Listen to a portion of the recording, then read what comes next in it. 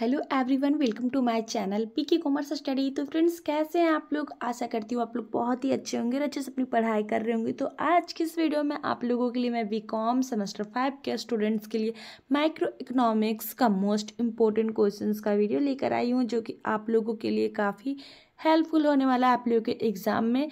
तो वीडियो के लास्ट तक बने रहिएगा और अगर आप पहली बार हमारे इस चैनल पर विज़िट किए तो सबसे पहले आप हमारे इस चैनल को लाइक करें, सब्सक्राइब करें और बेल बटन पर क्लिक करके ऑल पर क्लिक ज़रूर कर लीजिएगा ताकि जब भी मैं वीडियो अपलोड करूँगी तो इसका नोटिफिकेशन सबसे पहले आप लोग को मिल जाएगा। चलिए वीडियो को मैं आगे बढ़ाती हूँ। तो फ्रेंड्स आज के इस वीडियो में वैसे क्वेश्चंस को इंक्लूड किए हुए इस वीडियो में जो कि आप लोगों के एग्ज़ाम के पॉइंट ऑफ़ व्यू से hundred percent very very important question है। तो फ़र्स्ट नंबर क्वेश्चन क्या आता है? What do you mean by micro economics explain its difference between micro economics and macro economics तो आप लोगों को बतलाना है कि माइक्रो इकोनॉमिक्स क्या होता है मैक्रो इकोनॉमिक्स और मैक्रो इकोनॉमिक्स के बीच में क्या डिफरेंस है, उसको एक्सप्लेन करके आप लोगों को बतलाना है। सेकेंड नंबर क्वेश्चन में आप लोगों को पूछा जा सकता है explain its difference between positive economics and normative economics third number question what is economy यानी कि अर्थशास्त्र क्या है? Different explain different types of economics tabular form में। यानी कि आप लोगों को बतलाना है कि इकोनॉमी क्या है और इसके डिफरेंट डिफरेंट टाइप किस टाइप के हैं टेबुलर फॉर्म में तो उसको एक्सप्लेन करना है। फोर नंबर क्वेश्चन क्या आता है? फोर नंबर क्वेश्चन में आप लोग को पूछा जा सकता है कि what is central problems of an economy what to produce how to produce and from whom the produce तो यानी कि सेंट्रल प्रॉब्लम क्या होता है इकोनॉमिक के लिए और इसको किस तरह से उत्पादित किया जाता है, कैसे उत्पादित किया जाता है और किसके साथ में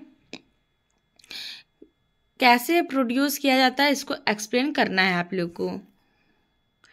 नेक्स्ट फाइव नंबर क्वेश्चंस में आप लोगों को पूछा जा सकता है। फ्रेंड्स तो देखिए यहाँ पे आप लोगों का दो तीन क्वेश्चंस इसी में इंक्लूड है। What is consumer equilibrium law of diminishing marginals utility and consumers equilibrium using utility analysis and relations between T U and M U table तो ये टी यू और एम यू टेबल क्या है? इसके बीच के रिलेशन को बतलाना है, आप लोग को और कंज्यूमर इक्वालिब्रियम के यूटिलिटी को एक्सप्लेन करना है। Next number question six number पे क्या आ जाता है? व्हाट इज़ बजट यानी कि बजट क्या है? How many types of budget difference between budget line and budget set यानी कि आप लोग को एक्सप्लेन करके बतलाना है कि बजट क्या होता है। अब नेक्स्ट नंबर क्वेश्चन में आप लोग को पूछा जा सकता है what do you mean by theory of demand यानी कि मांग के सिद्धांत से आप क्या समझते हैं? इसमें भी आप लोग को दो तीन क्वेश्चंस इंक्लूडेड है और वेरी वेरी इंपॉर्टेंट टॉपिक है। लॉ ऑफ़ डिमांड यानी कि मांग के नियम। Determinants of demand why demand curve slope downward यानी कि मांग की वक्र नीचे की ओर क्यों झुकी होती है? इसको आप लोग को एक्सप्लेन करना है। और इसमें आ जाता है difference between contractions of demand and decrease in demand इसको भी आप लोग को एक्सप्लेन करना है।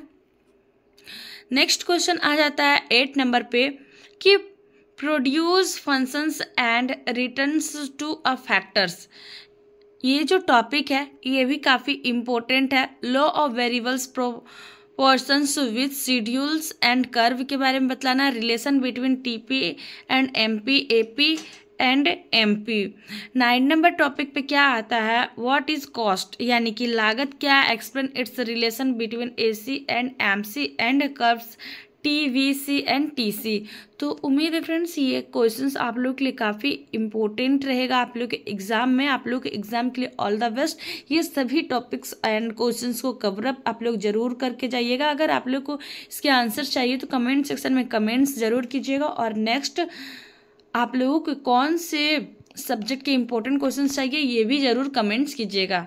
Thank you